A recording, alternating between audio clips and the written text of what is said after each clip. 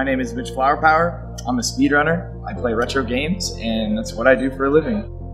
A speedrun is being able to play a game as fast as you possibly can, and you try and break your own potential with playing any game that you're comfortable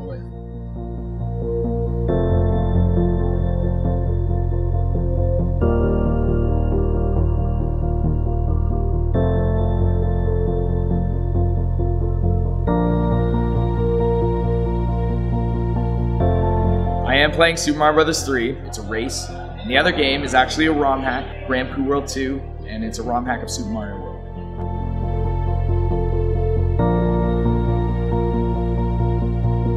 I speedrun because it's something really fun. I look at it like a sport as well. I treat my controllers like I'm playing with like an instrument. I try and just break past my physical abilities, and you can do a lot with speedrunning with that you know, when you're in the gaming scene, most of your friends, it's all online, and it's very hard to travel all the time and see them. So, in times like this, you really get to hang out and make better connections.